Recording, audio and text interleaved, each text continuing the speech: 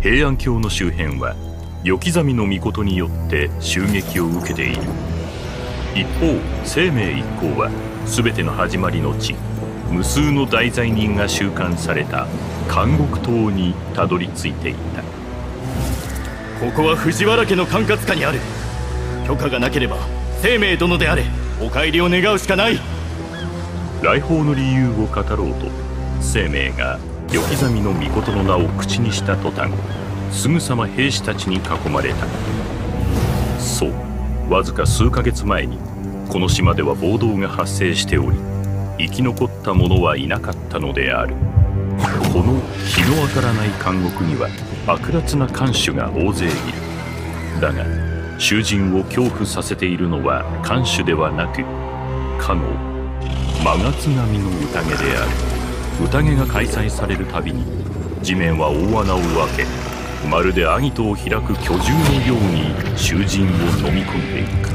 そして囚人たちの中にはその深淵に弱者を陥れる者もいれば立ち上がり抗う者もいるのだった。加瀬の島の真実を明かそう。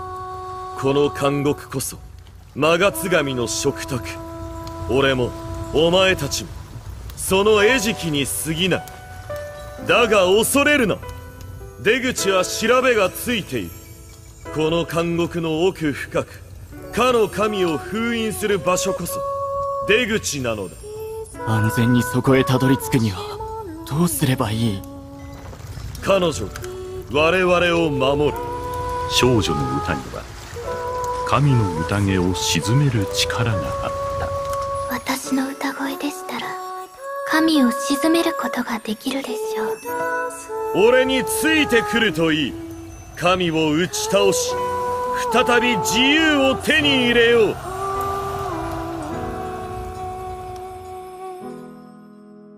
白衣を着た少女は囚人たちに虐げられながらも歌い続けていた。その歌声はトゲトゲしい鶴でさえもその鋭さを失ってしまうほどに心優しい音色だった。彼女を見過ごせなかった与木みの御事はボートたちを切り伏せ少女を救ったのだ。藤原家の姫がなぜ地獄のような監獄に？屋敷の方が地獄そのものですから。俺のために歌いその秘めたる力を使え。お前には相応の対価を支払おう。さあ望みを言え私をお花がいっぱい咲いてる場所へ連れて行って。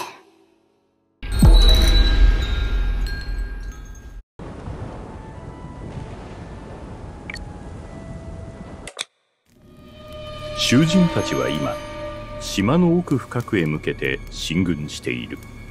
綾子は己の歌声で囚人たちを守りそして与木みの御事は罠を仕掛け追撃の看守を深淵に陥れ続けた。道中で幾度か囚人の裏切りもあったが与木みの御事は眉一つ動かさず綾子をかばいながら危機をことごとく乗り越えた。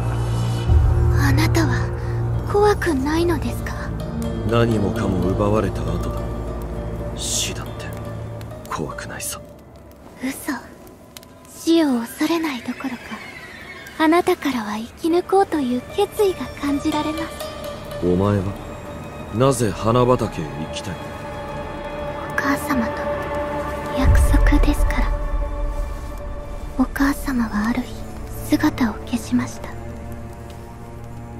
ねえよきざみの御事。あなたは何を望みますか？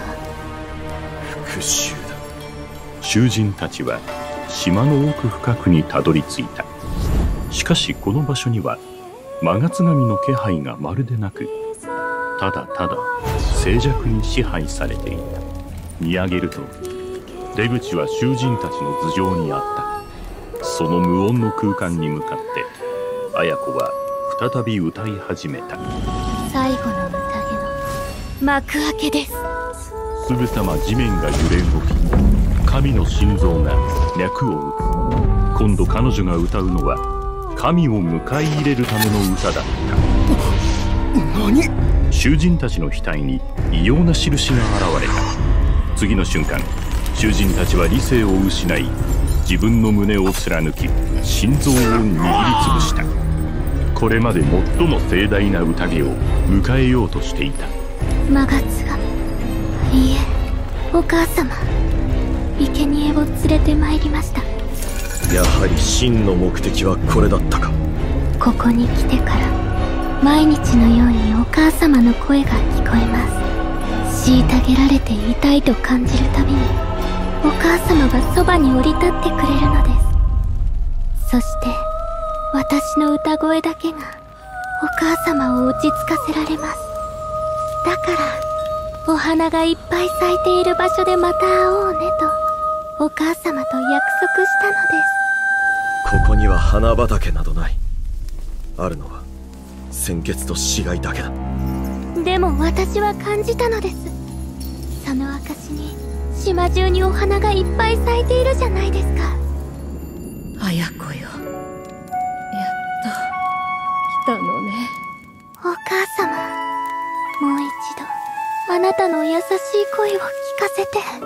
綾子てお母様に会えるなら全てを犠牲にしても構いません人の子よ汝の父は神を操ろうなどという愚かな妄想に取りつかれ汝を神の器に仕上げるため虐げてきたこの愚かな女も汝を助けようと自ら身代わりとなったの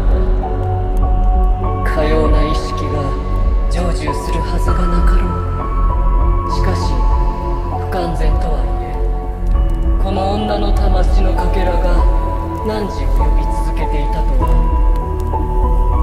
ならば神としては執念深い魂の願いに応えなくてはなるまい。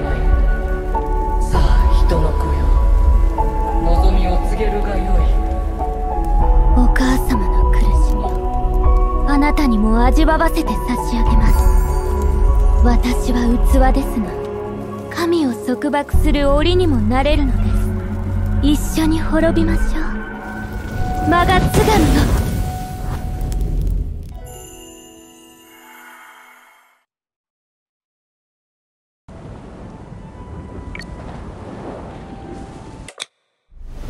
綾子が大穴に身を投げた。よきざみの御事は迷いもなく後を追い彼女の腕をつかむ。綾子お前が選べ。神をその身に宿せばお前は死に神は再び封印されるが将来にこの悪号は繰り返されることになる。しかし神を魂に宿せば神の力を手に入れる代わりに永遠に苦しめられやがて飲み込まれる。私は。これが私の選択ですから。逃げるくらいなら全て壊してしまいましょう。災禍を授けましょう。犠牲すなわち人生この時から救済をもたらします。これが神の恩恵です。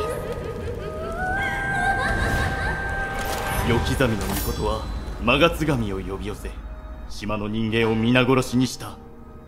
貴様はそいつと似た気配を漂わせているな。まさか共謀者なのか。皆の者を構え。おやつを直ちに処刑せよ。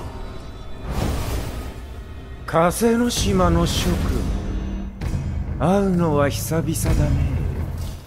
病で寝込んでいたせいで。確かに君たちへの指導を怠っていたが藤原家の礼節まで忘れてしまったとは生命殿に再び手を出すようなことがあれば島の中心で無期刑を受け骨肉を剥がされ二度とそこから出られることはないでしょう。そうしたらまだ私を喜ばせることができるかもしれないな。当主様。当主様が招いた客人だとは知りませんでした。大変失敬いたしました。よい過ちを改めることこそ我が藤原家の森人にふさわしい行為だよ。部下の失礼をお詫びします。改めて生命殿を歓迎しましょう。私は藤原の道長ただの病弱な藤原家の当主です。体の具合でめったに戦に赴くことはありませんが平安京のために最前線で戦う生命殿を深く尊敬しています。生命殿暗闇の中にいる私どもにとってまさに灯台のような存在です。平安京を守りし大陰陽陰の半身を分離させた鬼人。開国の侵入を阻止した奇策師。鬼王と組み交わす白虎の子。神々の戦を終結に導いた大英雄ですがぜひ私にこう呼ばせていただきたい。未来を照らす導き手と。車の用意はできました。私と共に風の島の真実を探りたいと思いません我々の導き手よ。